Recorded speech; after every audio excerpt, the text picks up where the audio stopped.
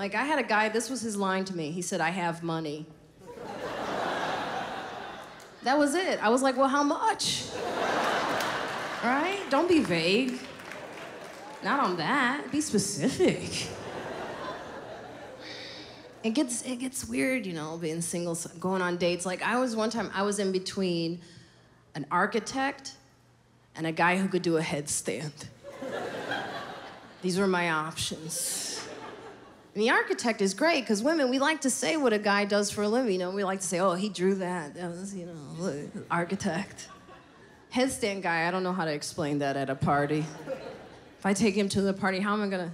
They go, What do you do, baby? Go outside and show them that amazing headstand that you can achieve.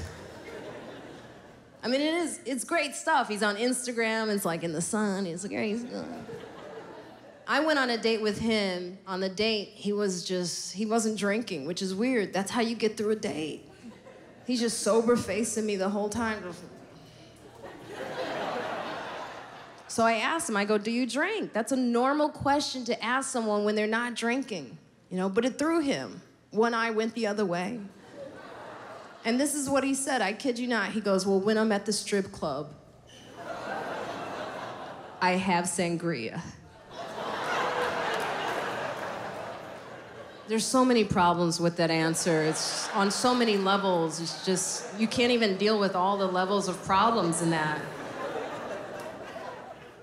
I was in a small restaurant in New York. There was a guy in the corner just like, yeah, no, you don't want to. And then I'm wondering, is there a guy at the strip club just chopping fruit for sangria?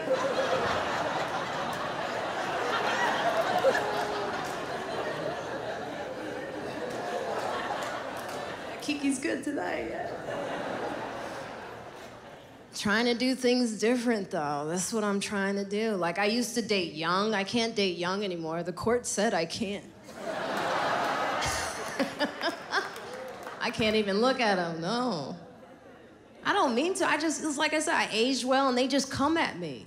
You know, I'll be hanging out at the GameStop and they just come into my life. What am I supposed to do? I'm like, you want this? Come and get it.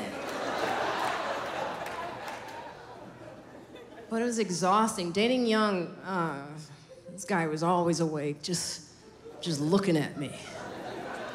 Like, what next? I was like, nothing. Take a nap, shit. Go to sleep. This was three whites ago, by the way, three whites ago. He talked a lot too. Oh my God, he talked so much. I told him, I said, I need some white noise and I don't mean you, okay?